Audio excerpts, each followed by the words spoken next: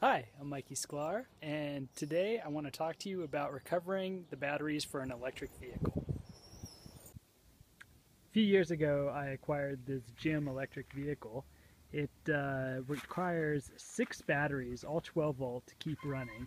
And what I've done recently is I've gone ahead and pulled all the uh, dead batteries out of the vehicle, went over to the local auto parts store, and they let me use my pimp charger in the store to go through their cores and just try to locate some batteries that um, I could recover and use in this vehicle.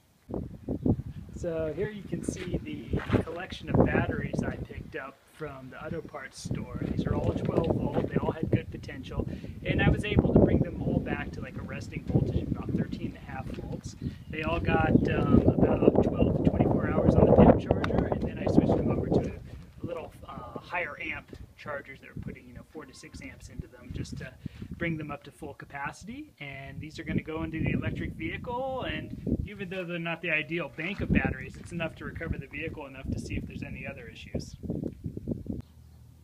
So I've gone ahead and charged the batteries and installed them in this vehicle. You can see I'm selling it because I haven't been using this vehicle much, but it's got uh, all six batteries, all 12 volts in it. Vehicle's running great, and now it is uh, ready to go for a little test drive so you can see it.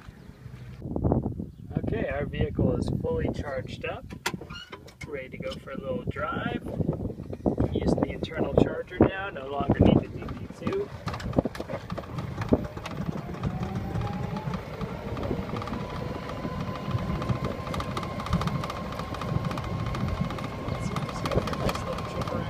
It's